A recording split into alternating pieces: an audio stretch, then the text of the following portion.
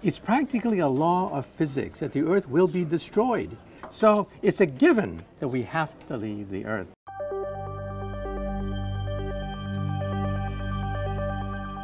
Today we are very lucky to be joined by Michio Kaku, the co-founder of String Field Theory, the best-selling author, TV and radio host. Welcome Michio. Glad to be on the show. Now I've just taken a read of your book, The Future of Humanity, and I get the sense that you're quite the optimist. But with the likes of climate change, overpopulation, and increased questioning of scientific truths, why should we stay optimistic?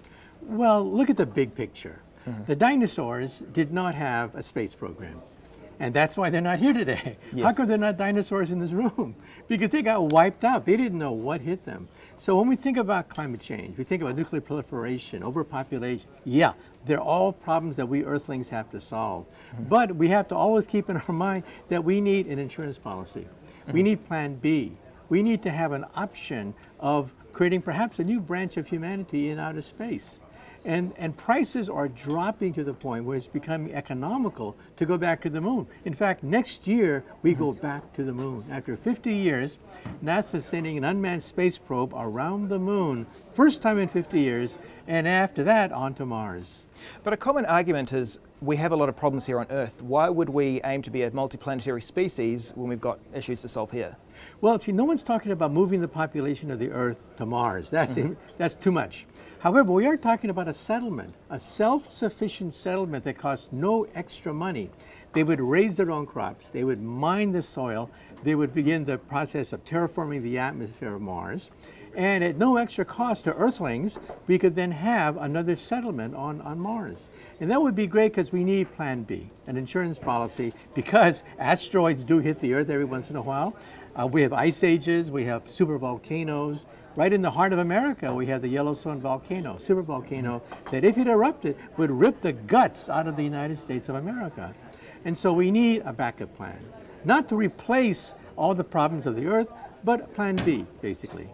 Now, the late Stephen Hawking, he's famous for saying uh, in the next 200 years, it's essential for humanity to develop the technology to become multiplanetary. But when you look at uh, the short term, so the next 20 years, what do you see the future of space travel to look like?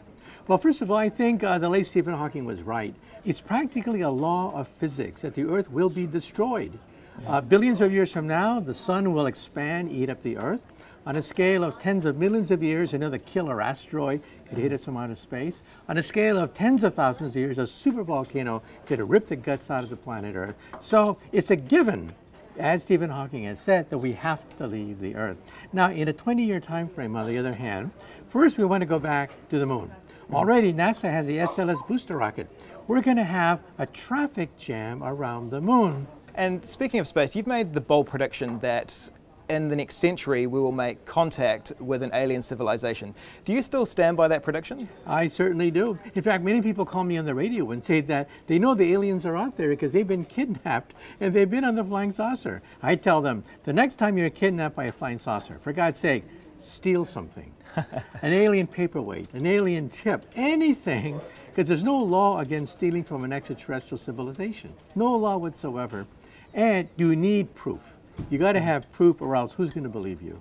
So I think that, yeah, I think in this century we will make contact with an extraterrestrial civilization because we're already eavesdropping, eavesdropping on hundreds of stars in outer space. And maybe one of these days we'll hit the jackpot. Now, Elon Musk, he compares artificial intelligence with the danger of nuclear war. Do you have those same concerns? Yes, but see, on a time frame of many, many decades, I think artificial intelligence in the short term, for decades to come, will mm -hmm. generate jobs, prosperity, whole new industries mm -hmm. are going to open up around artificial intelligence. Mm -hmm. But let's not be naive. By the end of the century, we could have robots as smart as a monkey. Now, monkeys are self-aware. They know they're not humans. They have a different agenda. So when our robots become as smart as a monkey, we should put a chip in their brain to shut them off if they have murderous thoughts. And here in New Zealand over the last few months we've had the likes of Attenborough, Jane Goodall, Neil deGrasse Tyson speaking to huge audiences here in New Zealand, um, especially popular with children. Now if you were a Kiwi kid that's interested in science, what particular field do you think they should be taking a second look at? Well, I think there's going to be an explosion, first of all, in space travel. We're entering the second golden era of space travel. Now, the first era was great. We went to the moon, but it cost too much money. Mm-hmm. It consumed 5% of the U.S. federal budget. Think about that 5% of every dollar you paid to the government went to the Apollo space program. Unsustainable. Now, prices are dropping. You know the movie The Martian with Matt Damon? Yes, That cost $100 million. But the, the Indians sent a probe to Mars for $70 million. a Hollywood movie about going to Mars costs more than actually going to Mars. So that's how cheap space travel has become. And Silicon Valley billionaires are just pumping in billions of dollars of their own money because they see riches, they see fame, glory, and a pot of gold there. So do you think it's important then for private enterprise, the likes of Rocket Lab here in New Zealand, SpaceX, to be sort of taking the reins from NASA and doing it themselves, or do you think it should be kept within governments?